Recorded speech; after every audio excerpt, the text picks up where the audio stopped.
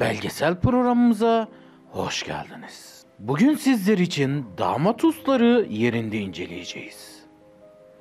Bu türler havaların ısınmasıyla ortaya çıkar. Mutlu bir yuva kurmak isteyen damat us, ilk görev olan ceyiz almak için gelin usun evinin yolunu tutar. Damat usları eve girmek için 3 aşamalı zorlu bir süreç beklemektedir. İlk aşamaya gelmiştir bile. Para vermeden açmam.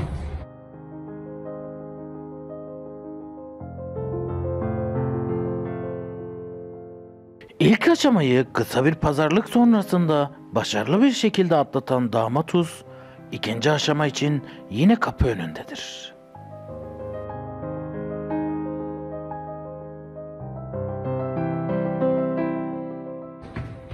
Para vermeden açmam.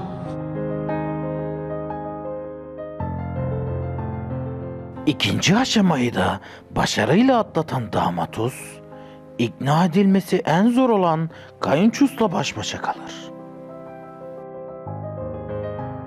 Çeyiz sandığının üzerine oturan kayınçus, pazarlık yapmayı sevmediği için damatus tüm parasını kaybeder. Çeyizi cebinde para kalmadan başarıyla alan damatus, bir gün sonra damat tıraşı olmak için berberdedir.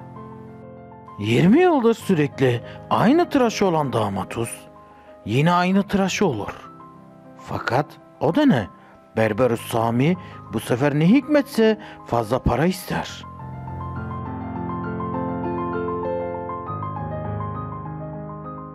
Kuaförden çıkan damatus gelini alıp düğün salonunun yolunu tutar.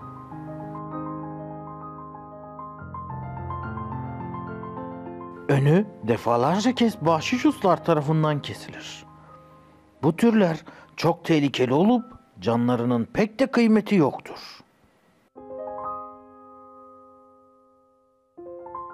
Düğün salonuna sağ salim gelebilen damatus bir darbede gelin ustan yer. Beşi bir yerde olmadan inmem diyen gelin ustanın imdadına kayınbaba us yetişir. Artık damat usun parası bitmek üzeredir. Devreye sadıç uslar girer. Bu türler damat usların belki de tek dostudur. Damat us artık zorlu viraja girmiştir. Buradan sağ salim kurtulması için Sadıç Us önüne gelene para verir. Para vermeden kalkmam. Fotoğraf makinesi bozuk.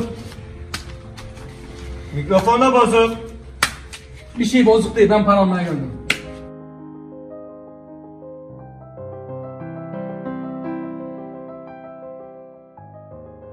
Yalnız bıçak kesmiyor.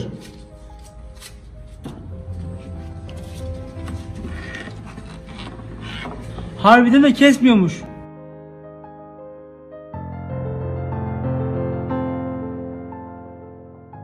Düğün sonrası canlarını zor kurtarıp arabaya binerler.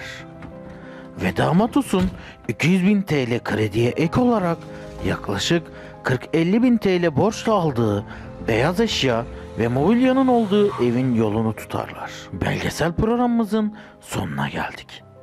Bir başka belgeselde karşınızda olmak dileğiyle. Hoşçakalın.